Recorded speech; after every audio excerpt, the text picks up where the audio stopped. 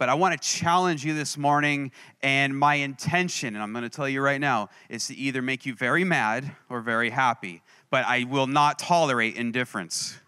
I, if you're gonna say, okay, yeah, no, no, no. Either get really angry at me or get happy at me, one or the other. At least I know you listened and I got your attention. But we're gonna talk about some things this morning, okay? Are you guys ready? Can we go on a journey together? It's not gonna be a long message, but it's gonna be good. And I hope, see, uh, my endeavor is to make the gospel so simple anybody can get it. A child, a three year old, a four year old, they get it. It is not complicated, it is simple. And if you've escaped simple, you're not in the gospel anymore. You've you got this old you got this other stuff going on. So we're going to keep it simple. And the best way to simplify the gospel, hey, try sharing the gospel with someone that's never been to church before. Ah, you can't use church words. And let me remind you, Jesus never used church words either. Jesus used words the fishermen understood, lawyers understood, sinners understood. He used words of the day that they understood. He didn't use church words, but today we got all kinds of church lingo that only we understand because we like being in, in, an exclusive group, you know, like uh, we belong kind of thing. And uh, okay, all right. Anyways, okay, look, go to go to uh, uh oh, Luke chapter ten. On your way to Luke chapter 10, I'm going to read something from Psalm 67. Psalm 67 in the New Living Translation. It says, May God be merciful and bless us. May his face smile with favor on us. Interlude or Selah. Think about that. May your ways be known throughout the earth, your saving power among people everywhere. God's desire is his saving power be known where? Let me let's say that again. Where? Everywhere. May the nations praise you. Who? The nations. That's everybody, skin color, every single person. There ain't nobody excluded from God's design and purpose. Oh God, yes, may all the nations praise you. Verse 4. Let the whole world sing for joy because you govern the nations with justice and guide the people of the whole world. Selah. Think about it. Verse 5 May the nations praise you, O God. Yes, may all the nations praise you. Then the earth will yield its harvest, and, uh, and God, our God, will richly bless us. Yes, God will bless us, and people all over the world will fear him. There is a purpose behind us being blessed. Now, this is ancient Israel. And this is a time where the fullness of understanding that blessing was not known yet. It wouldn't be revealed until Jesus came, died, and rose again. And this blessing that we have today is the gift of salvation, the gift of forgiveness. Now, notice God's design and purpose is you be blessed. Why? Because God is after the nations. See, Jesus, and, and if you've been following me on uh, the last few weeks, I've been on a series in evangelism and redefining what that looks like and what that is. In fact, the only purpose that you are still on earth is for evangelism. If you haven't figured that out yet, we're, we're going to get you there. We're, we're, that, that's the purpose. Like, like we're, gonna, we're, we're created to worship God, but we're going to be worshiping God for eternity. The reason you're here on earth is for the you sitting across from you in the cubicle at work. See, I knew I was going to either make you angry or make you excited. That, that's great. I need you here, though, okay? I need you to, because there's a purpose behind you being saved and still being on earth. It's for the person across the street from you. Why? Because God loves that person that doesn't love him just as much as he loves Jesus. And God's system and design is for him to shine his favor on you so that they can look at you and see his face shining on your face and say, Hey, what's going on with you? See, the Bible creates this idea that we get asked a lot of questions like this Hey, why do you believe what you believe? Hey, Josh, what's the reason for that hope you have? Now, I ask myself, okay? Now, I'm asking you to do this too, but I'm not telling you to, uh, I'm not putting it on you because you'll get mad at me. But, but ask yourself this How many times have I, have I been asked that question? Is this okay? Is this okay if we, uh, come on, are we okay? Okay. How many times have you been asked to give a defense for the hope that is in you? I, I did not say how many times have you had to defend your moral views? I said, how many times have you been asked to give a defense for the hope that's in you? oh, okay, okay, good, good. I'm glad we're all on the same page. I can see where we're going somewhere. Luke chapter 10. Luke chapter 10. Luke chapter 10. Okay, now before we read this, I have a question to ask you. Don't answer it out loud, and this is not a trick question. There's an actual number. How many commandments do you, as a Christian, have? I, I, don't answer out loud. Don't answer out loud. I didn't hear anything. Don't answer out. Keep it inside because I don't want anybody to get embarrassed or happy. You know, but answer in your mind right now. How many commandments do you, as a Christian, have? And when you have that answer, what are they? Now, if you grew up in church in the world today, your answer may have sounded like something like 10, the 10 commandments. Why? Because for some reason we adopted the Hebrew Bible, which is the Old Covenant, and it's not called Old Covenant because it's older than the New Covenant. It's called Old because it's now obsolete and vanishing away. Jesus set aside the old covenant to establish the new. The old covenant actually is not in effect anymore. Let me remind you, those 10 commandments are now obsolete. Why? Because Jesus established something new. Now, we didn't raise our kids really with 10, we raised them with nine because it was more convenient to avoid the Sabbath day one, right? How many of y'all enforce the Sabbath day commandment with your kids? And let me remind you what that is. That means no emails from Friday evening to Saturday at sundown. Ain't doing nothing. In fact, if you're very legalistic, you can't even go number two in the bathroom. Yes. John the Baptist was so legal. Anyways, okay, I don't want to get off track. Yes. So if you want to live by the 10 commandments, make sure you don't relieve yourself from Friday night to Saturday night.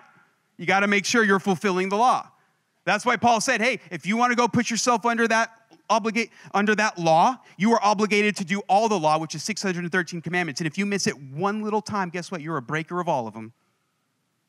So let's respect it for what it was a perfect standard that we couldn't do. And Jesus came and fulfilled it for us. Amen for that. Thank you, Jesus. Or if you're If you're, uh, say, Josh, I know what the answer is. And if you were raised in school, your answer may be like the golden rule that we're taught, right? Treat others as you would like others to do unto you, right? How many remember that rule, right? Maybe that was your answer. Or maybe uh, your answer was this it was uh, love God with all your heart, soul, mind, and strength, and love your neighbor as yourself. Now, you're wrong, but it's okay. But okay, but but you know that that's probably what your answer was. I'm guessing is why because I listen to a lot of sermons, I talk to a lot of people, and very few people actually even know what the commandment is for a Christian. I told you I'm going to make you mad, or I'm going to make you happy. Indifference will not be tolerated. Jesus was asked a similar question in Luke chapter 10 verse 25, it says, And behold, a certain lawyer stood up and tested him. The lawyers were always testing Jesus, trying to catch him. And a lawyer is what we would call an expert in the law, an expert of the Hebrew Bible, an expert of the Old Covenant that knew the ins and the outs. He knew everything about it, and his purpose in life was to make sure he pointed out all the areas you missed it. See, Jesus is. Uh, uh, what's the word I'm going to use? harshest remarks were for these people who told you everything you did wrong without lifting a finger to help you. Okay.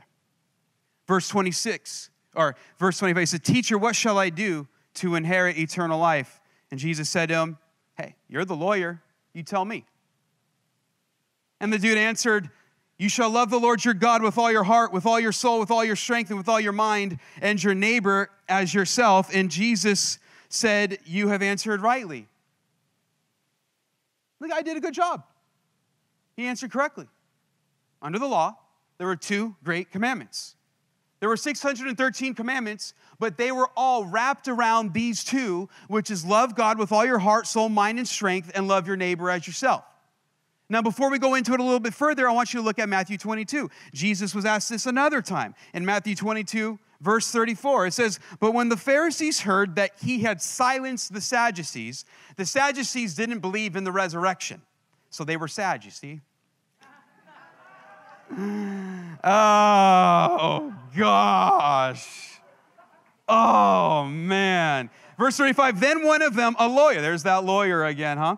No, no offense to you lawyers in here. These guys were different. Okay, you're good. You're awesome. Um, uh, asked him a question, testing him and saying, Teacher, which is the great commandment in the law? Now, notice his question. He didn't ask him, What are the great commandments? Plural. He said, What is the singular great commandment in the law? Why? The lawyers were convinced that they were righteous.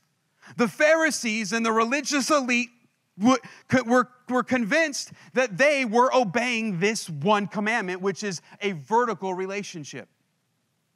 Now, the thing that I am troubled with is I find that even after Jesus was resurrected and we have the new covenant, our life is focused still on a vertical relationship instead of horizontal. What I mean is, Jesus took care of the vertical relationship. You cannot improve on your relationship with God. And if you're sitting in here and thinking of all the religious ways you think you can, or you were taught in church, I can prove it to you. You can't improve. Why? How close are you to God? Where is He? In you.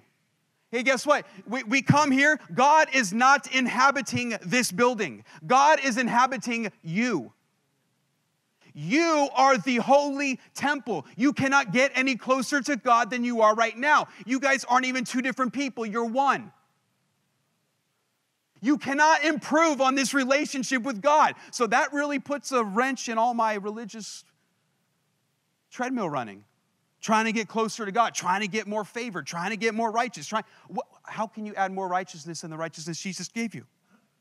How can you add more holiness to the holiness Jesus gave you? How can you add more favor than salvation? Am I speaking some truth here? Am I making some sense here? But because we've adopted the old way and brought it in somehow into our new Christian life, we're still trying to focus on and de- develop a vertical relationship with God that Jesus created for us and established for us because we could not for a purpose, which you'll see. But see, these religious Pharisees, we're focused on vertical relationship, which is love God with all your heart, soul, mind, and strength. So they went around, I'm loving God. Everything they did was with the idea of loving God. They did it to such a degree that it was okay for you to not love your neighbor so that you can love God. Mm. And now Jesus says, Look, I know you're asking me what the great commandment is, so I'm going to answer you. And before you can uh, uh, celebrate my answer, I'm going to do something crazy. I'm going to add, this second is like it. So it's not in addition to or something different, but they go together hand in hand. He says, You shall love your neighbor as yourself. And he says, On these two commandments hang all the law and the prophets. So he's saying, Hey, Mr. Lawyer, guess how you do the first one? You do the first one by doing the second one. Uh, Hey, hey, hey. I love it that we get together and we worship God. We lift our hands, we give our tithes and our offerings, and, and we pray and we read our Bible. Guess what? None of that means a thing if you're not loving your neighbor. Let, let me say that again. None of that means a thing without love for your neighbor. You think you're loving God. Jesus says, You know how you love God? By loving your neighbor. Let me say that again. The way you love God is by loving your neighbor. Oh, this is getting real good. I can see it in your faces. If you guys could see the faces, he told, was it Jeremiah? Don't look at their faces.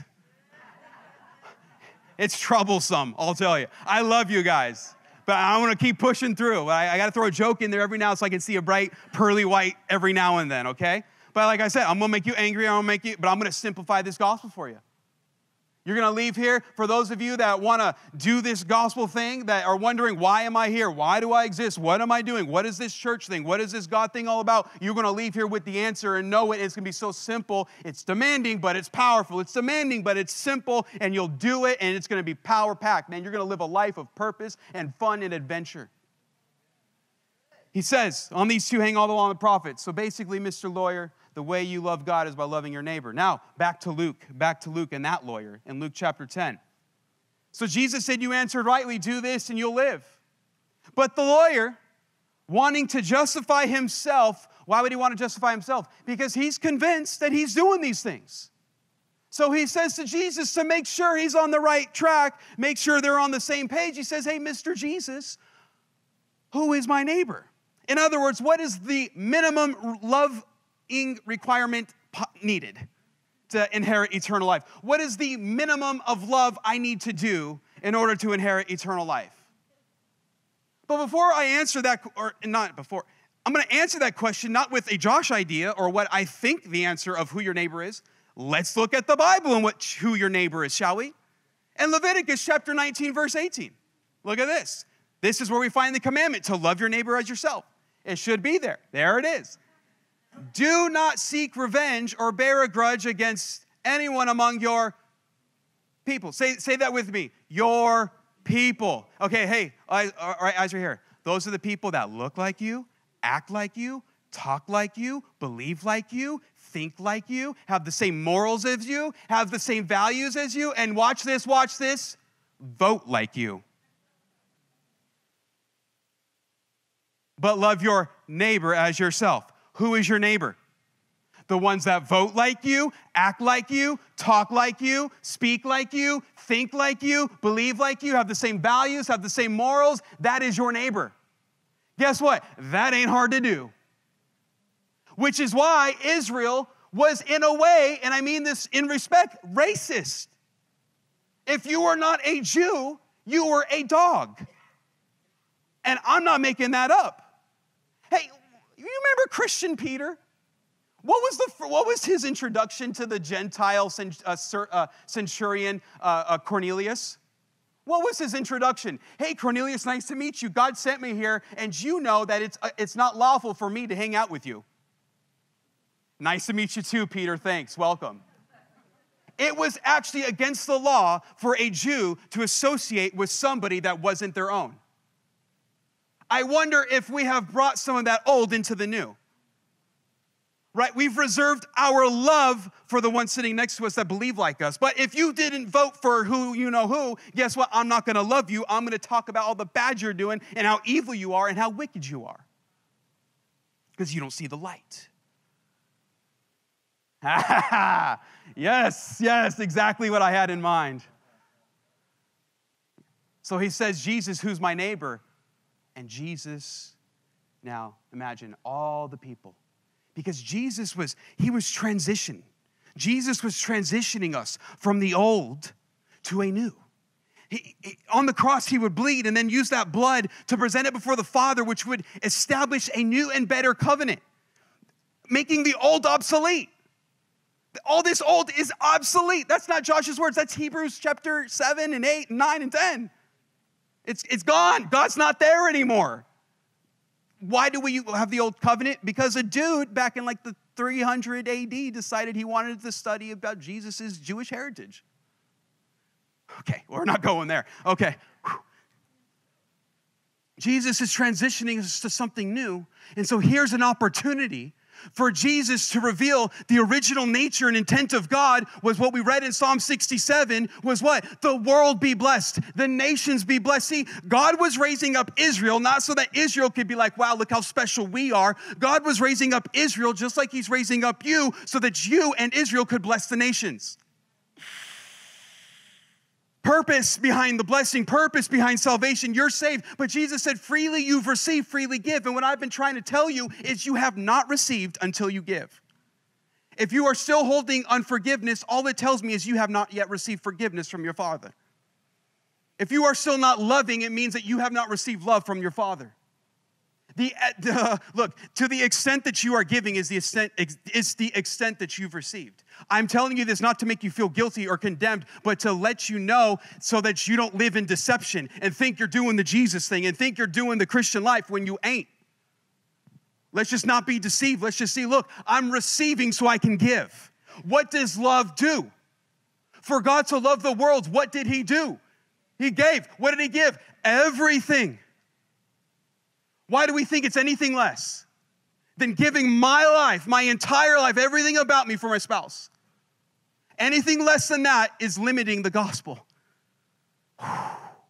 The power of the gospel. And so here's Jesus, and he's about to have the opportunity to help transition in the new. And all the Jewish people are listening, and he's about to redefine neighbor. And look what he says. And this, if this parable doesn't hit you, well, I hope it does. Verse 30 Then Jesus answered and said, a certain man went down from Jerusalem to Jericho and fell among thieves, who stripped him of his clothing, wounded him, and departed, leaving him half dead. Now, by chance, a certain priest came down that road, and when he saw him, he passed by on the other side. Now, according to the lawyer's answer, this man who was a priest who thought he was justified, was he loving God? No, he wasn't. Why? Because he didn't love who? You guys are so good. Next, likewise, a Levite, another religious elite. When he arrived at the place, came and looked, and what did he do? He passed by on the other side. Based on what the lawyer said, did he love God? No. Why? Because he didn't love his neighbor. You getting it? You're following what Jesus is saying? But now look, Jesus says, but a certain Samaritan, wait, stop. All the Jews around now are waiting to hear Jesus say the words that the Samaritan is the one that robbed the guy. And the Samaritans about to get what's coming to him because the Samaritans were worse than Gentiles. The Samaritans were a mixed race of human. They were half Jew, half Gentile, and they thought they worshiped Jehovah God, but they didn't follow the rules that the Jews did. And so the Jews despised the Samaritans. They wouldn't eat with Samaritans. They would not touch a, Samar- touch a Samaritan. I bet you they didn't look at Samaritans. They would go the long way to avoid their house. They'd go the long way to avoid the village. Jesus went the long way to find them. But guess what? According to the law, they didn't have to love the Samaritan. In fact, the Samaritans and the Jews had some bad history. You remember when they were trying to rebuild the temple in Ezra and Nehemiah? Guess who the enemy was? The Samaritans. So they didn't like them. And now Jesus is mentioning a Samaritan in this story, and they're thinking, okay, the Samaritan's finally getting what's going to come to him. Yes, Jesus, you get him. But Jesus makes the Samaritan the hero. Let me translate that for you. Let me translate that for you today. All of you Republicans, he's making the Democrat the hero. All of you Democrats, he's making the Republican the hero. He's making the dude that you don't respect the hero of the story. Can I say amen? Uh, no, I said, can I say amen? I hope this is challenging you. Because if, if the worst person on the earth, Jesus is making the hero, what does that, what, what does that mean for me right now, today, tomorrow? And he continues, he says, check it out. As he journeyed, the Samaritan came where he was, and when he saw him, had compassion. So is the Samaritan who the Jews thought were apart and out of the covenant with God. They didn't, they didn't have a relationship with God. And yet Jesus is saying he's the only one out of all the Jews and the religious elite that loved God. Why? What did he do? Loved his neighbor. Who is our neighbor? Everybody. He says, So he went to him and bandaged his wounds, pouring on oil and wine, and set him on his own animal, brought him to an inn, and took care of him. I'm sure this was inconvenient. I'm sure he didn't plan on stopping. He was obviously on a journey going somewhere. He had a donkey, he had supplies. Maybe he didn't have enough supplies for an extra day, but because his neighbor was in trouble, he stopped what he was doing. He picked him up. He used his substance, his time, his ability, where he was inconvenienced to take care of this man, and that wasn't it. He didn't drop him off at the end, but Jesus has the audacity to say the words on the next day. So this man stayed the night, making sure sure this dude was on the mend, making sure he was doing better, and then when he left, provided funds for the innkeeper to continue taking care of him. What does love look like? looks like that. Guess what? You cannot love when it's convenient. That's not love. The verse 36 so Jesus says, Which of these three do you think was neighbor to him who fell among thieves? And now Jesus has him because the lawyer knows this answer. And if he answers correctly and answers legitimately, he's binding himself and admitting to Jesus that he is not a lover of God. And he says, The one that showed mercy. And what does Jesus say? Go and do likewise. Now I ask you again the same question I asked you at the beginning, which was what? How many commandments do we as Christians have? And what are the commandments? And if it's not 613 commandments that you have to live by, it's not even 10 or 9. It's actually one. John chapter 13. Jesus is transitioning us from the old to the new. In John chapter 13,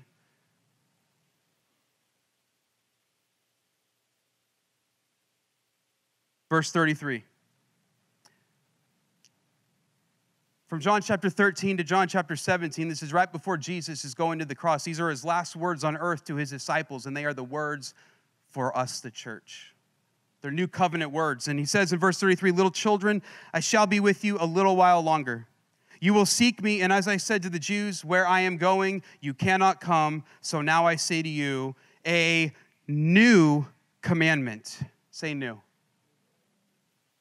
A new commandment I give to you that you love one another.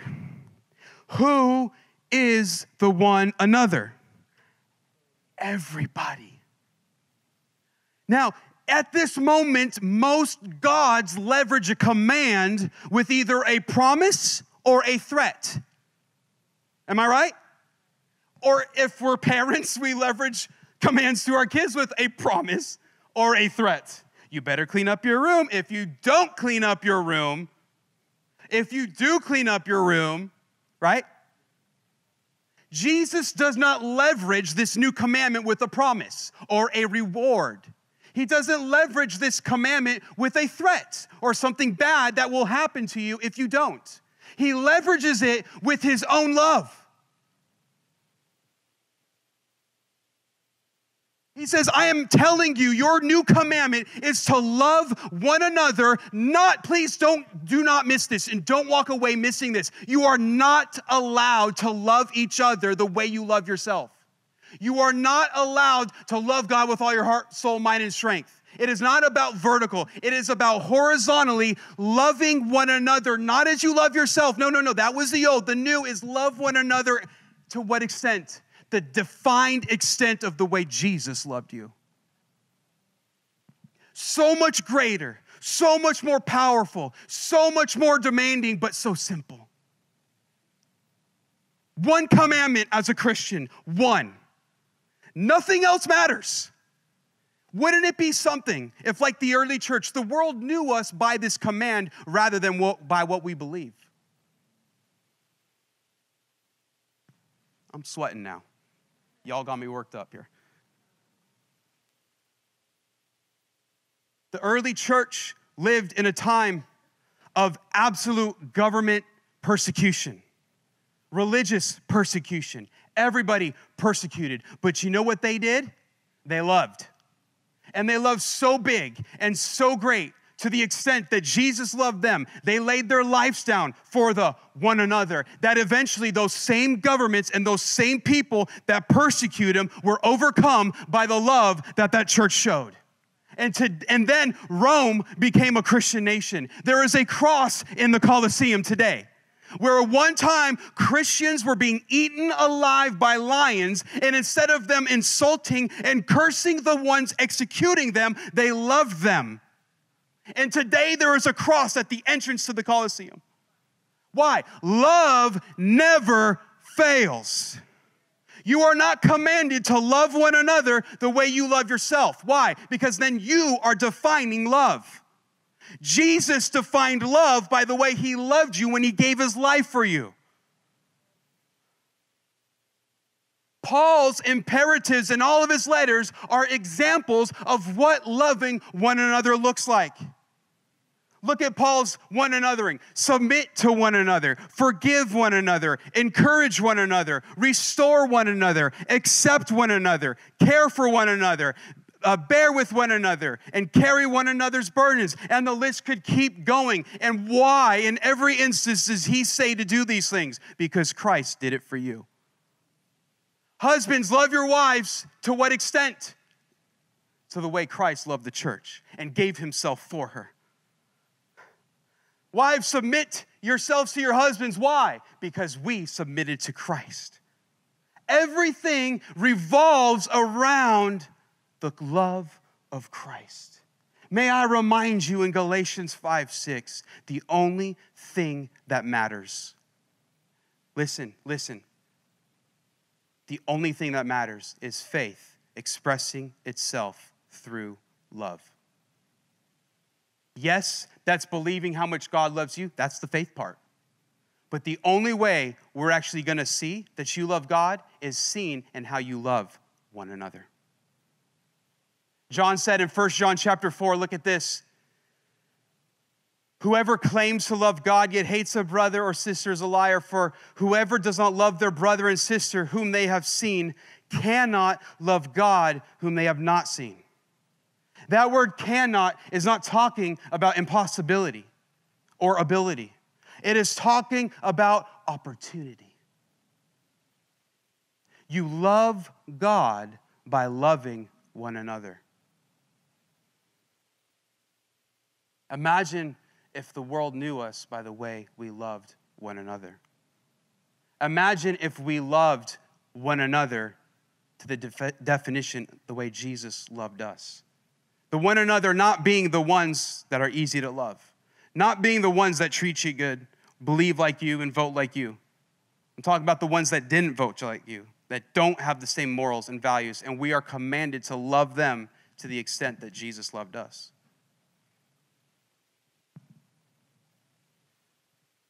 So many people, I, I'm always encouraging share the gospel, get people saved. It's the greatest way we can love anybody is by getting them saved, introducing them to Jesus.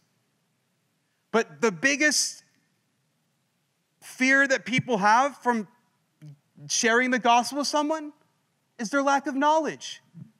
They say, I don't know how, I don't know what to say. Who said you had to say anything? Listen, it says in 1 Corinthians 13, I'm closing, I'm done, I, am just closing here. In 1 Corinthians 13, look at this. I don't, ha- I don't have it, Bonnie, so it's just, just flowing here. 1 Corinthians 13, is it okay if I read this real quick? In verse 1, Paul says, Though I speak with the tongues of men and of angels. Oh, that's awesome, Paul. Cool. But he says, But have not love. Uh oh. I become sounding brass or a clanging cymbal. Yikes. Imagine if our prayer life wasn't for ourselves, but for others. Imagine if the tongues we spoke in was for the purpose of me getting some revelation to share with you, not just so I can have some more info. See, our, our objective is not to make smarter Christians, our objective is to make Christians more bold and loving. That's it. The bolder you are and the more loving you are, the kingdom grows. The more informational you are, honestly, the more resistible you become. Knowledge is only good when it's used to love. Remember, Paul said, knowledge puffs up, but love edifies. As long as the knowledge you have is used to build up the person next to you, good. But if the knowledge you have is only meant to build you up, not good. I knew I'd get some thunder, thunderous applauses here. I knew it. But, but, but, uh, have, I, have I made something up? Is this not the Bible? Did, how many commandments do we have, guys? One. And it is not love God with all your heart, soul, mind, and strength, and love your neighbor as yourself. That was the old. The new is what? Love one another to the extent that Christ loved you. Read John 13 to 17, and Jesus says it multiple times. Read the book of First John. John says it multiple times. Why? Because you are loving God when you love one another. In verse 2 of 1 Corinthians 13, he says, And though I have the gift of prophecy, that's awesome, and understand all mysteries and all knowledge. Wait a minute. You just read what Paul said. Understands all mysteries and all knowledge. How do you know that dude is going to be rich? You know why? Because he's going to write a lot of books. Again, understand all mysteries and all knowledge. That means you're not missing a thing. And though I have all faith, well, hey, that's why I'm coming to church. I need to build my faith. Why? I need a better house. I need a more I need more cars. I need more money. I need a bigger successful business. Imagine if our faith wasn't used on ourselves but for the one sitting next to you. Maybe that's actually the purpose of faith. Oh my gosh. Ask Jesus if you don't believe me. Ask him why you have faith, why his faith is in you. Because check it out, check it out, check it out. As long as you are vertically minded, faith for me, faith for my life, faith for more, guess what? You will not be ever loving God. God loves you. Don't misunderstand. You're righteous and holy, but you are not actively loving God and you're making zero difference in the world. Imagine if immediately you went from vertical and said, okay, I have faith that Jesus, you actually did save me. Boom, who's left? My neighbor, the one another. And now I use faith to believe how much he loves me and love you. But Josh, if I do that, how, who's going to take care of me? It's interesting that Abraham didn't actually get the miracle until he got his eyes off of himself and prayed for someone else that had the same problem. Context Abraham couldn't have kids. So what did he do? He got his eyes off of himself, stopped trying to build up faith for himself, and said, You know what? I'm going to use the faith I have to pray for them who can't have kids. What happened was he released himself and let Jesus take care of him. Um, yeah, thank you for that little clap in the back. I am preaching so good right now. You don't even understand. I am making Jesus so happy.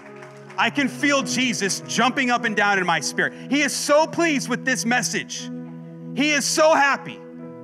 Like I said, you're either gonna be happy or upset. Indifference will not be tolerated.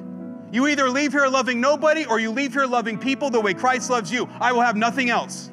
I will not have this. I'm only gonna love the guy that likes me. I'm only gonna love the dude that's like me. No, you are to love the liberal. You are to love to love the right wing. You are to love everybody. Opposite skin color, opposite thing. They're every hey, he it's for everybody.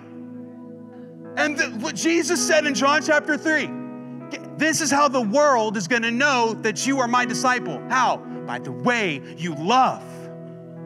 They are not gonna know you're saved by your moral stance your moral views. Well, I'm standing up for this. Great, good for you. How's your love walk? How are you loving people the way Jesus loves you? Jesus said, The world is going to know I'm alive. The world is going to know you're my disciple. Guess what? If we're his disciple, that means he's still alive. So, what he's saying, in essence, is the world is going to know that there is a God by the way that you love. Imagine if we use our faith for the person sitting next to you and the person across the street. Imagine if our prayers were filled with, Lord, give me opportunities to share your love. Give me opportunities to share your gospel. Lord, I pray for that person that they be blessed with a new job. Lord, I pray for that person that they be increased and that they have more. Paul goes on to say, though I have all faith, that I could move mountains. That's some pretty big faith. But he said, if I don't have love, he says this three words I am nothing. Come on, Paul, don't make that declaration. That's, you can't confess that, Paul. You're the righteousness of God. Not if I don't have love, not if I'm not showing it. I'm nothing. All that faith, all the knowledge, all the mysteries I understand, worthless if I'm not using it to love. You know, after that, he goes into, you guys all know the love chapter. yeah, maybe. It's okay. Love is awesome. Just read it. And then and then he he goes he goes off on I know in part, I see in part. This is Paul. He's saying, I don't get it all. I don't understand everything. I don't have all the knowledge and I'm answering the question of, I want to share the gospel, but I don't know what to say. Paul's saying this, yeah, I don't really know what to say either. I don't have it all together. I don't understand everything. And then he sandwiches that statement with, I don't know everything. The top part was love, what love is. then I don't know everything. And the bottom part is now abide these three faith, hope, and love. The greatest of these is love. Sandwiched in between, I don't know everything, is love. Because love closes all the loopholes. Love takes care of where you don't know. Loving one another the way Christ loved you, that will win them. That will win them to Jesus. The way you treat them, like the Samaritan took care of that man. I don't know everything, but I can love the way Jesus loved me. This isn't a competition about who knows the most, who can memorize the most Bible verses. It's a competition, really, of who can love the most. Imagine a marriage where the husband and wife were in a submission competition. Who can submit to each other the most? Imagine a church where, what, where we had competitions about who was loving more. I'm gonna beat you this week, Johnny. No, you're not. I'm gonna love you more, Sally. Don't you worry, I'm gonna get you. Imagine if all of your friends at work couldn't stop talking about how kind you were and how much you gave of your time and you were inconvenienced to take care of somebody that was nothing like you. I'll tell you what, we would have the best jobs. Why? Because that's who companies want to hire. Any business owners in here? You want to find the guy that can love well. Why? Because they're not going to be late to work. Why? Because they're going to love you. And they're not going to cheat and steal. Why? Because that wouldn't be loving you. See, see, we don't need the 613 commandments about all the do's and don'ts. All we need is to love one another as Christ loved me. See, I can't commit adultery to my wife. Why? Because I wouldn't be loving her the way Christ loved me. Christ would never commit adultery on me. See, I can't steal or lie to you. Why? Because that would be not loving you. I don't value you and love you to a degree that you deserve the truth. And Christ would never do that to me. He always gives me truth. He would never lie to me, so I can't lie to you because that wouldn't be loving you the way Christ loves me. Simple, demanding, powerful, world changing. Cannot express it enough. Let us love one another, not as you love yourself but the way Christ loved you.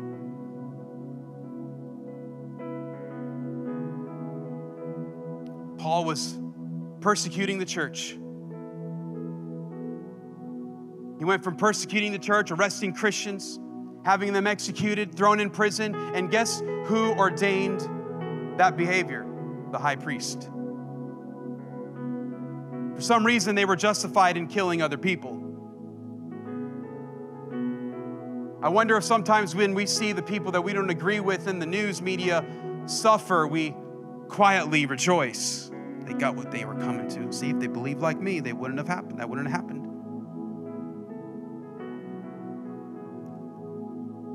Paul had such a conversion and such an encounter with Jesus. What's interesting is I find in the new covenant, the, the old covenant when we obey, we get blessed, right? The old covenant, if you obeyed God, you got blessed. Let me point out in the new covenant, when you obey, you get persecuted. Obedience in the new covenant brings suffering. Yeah, that, that went over well. Paul experienced suffering after suffering. Why? Because he was being obedient to the commandment to love one another. The devil doesn't like that, so he, he tries to stop you from doing that. And, and what, look what Paul, look at this love. Look at this love. These people that were against Paul weren't just using emails and Instagram and Facebook to say things. They are picking up stones and throwing them at Paul killed Paul. They, they whipped Paul. They beat Paul. They lied about Paul. They kicked him out of cities. They tried to assassinate him. They, the 40 men took a hunger vow that they weren't going to eat again until he was killed. They, they were always conspiring to kill him. How many of y'all need some help? Like, you know, you got some people trying to kill you. That was Paul on a daily basis. He said, I die daily. In other words, his life is. And the people that were trying to kill him, this is what Paul says. Read it for yourself in Romans 9 his own countrymen that were trying to kill him every day with anger. He said, I wish I I wish I could be accursed that they would be saved. What? What? I don't know that. People that are mean to me, I want to get hurt. People that are mean to me and my family, fool, I put a, I, I take care of you. You know, I got some friends I could call. You ain't gonna treat me and my family like that. Uh-uh. Paul, you know what he was? His desire was for the people that was hurting him, that he could be a curse from Christ so that they could be saved. Let, let, me, let me interpret that for you. Paul's saying, I'll go to hell so they go to heaven. Not the people that were nice to him. What is that? That's what happens when Jesus comes in your heart. Why? Jesus died so you wouldn't. Guess what happens when he comes in there? That same attitude and nature lives in you. I'll sacrifice me. No, no, no, not you. I'll sacrifice me. Not my interest, yours. Not my preferences, yours. Not my time, yours. Where is that love? I'm telling you, it's going to come back. It's coming back, and the world will be changed by the way we love. Your Belinda is going to be changed because y'all are going to love. People are going to be knocking down them doors, and instead of showing up when they're going to be showing up, you're going to be showing up hours early to get yourself a seat. Why? Because people can't wait to get around these people that love so well. Everyone was created to be recipients of this love. I'm so filled with the presence of God right now. I don't know about you. I'm so pleased right now and happy. Let's have everybody's heads bowed and eyes closed. One more thing. I'm sorry if it's okay. I've just I just felt there's there's a I just felt this that I was reminded of it's it we can believe and agree with the gospel in our mind without ever experiencing the reality of it. We can believe in Jesus without ever experiencing his person and the reality of him actually being with us. And I find that happened with Peter when he had the vision, when he was in the trance, and the vision came of the sheet coming down with all the unclean animals, and God said, Eat. And Peter said, No, Lord, I ain't eating that. It's unclean. And he did that three times, and he still didn't get it. You can have all the spiritual experiences in the world you can have visions, trances, prophecies, miracles left and right happening and still not get it. Peter didn't get it until he went to the one another's house and shared the gospel with them. Let me say that again to you. You can come to church and you can have all the spiritual experiences, but until you share the gospel and love the one another, it will not be a reality.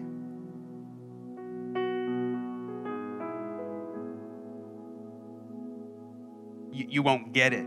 You, no, you'll agree with it. You may even have, you probably know more than I do. But I'll tell you what, Jesus is so real. Amen. Awesome. Okay, cool. Thanks, guys. Woo. All right. Hey, it's time to receive our.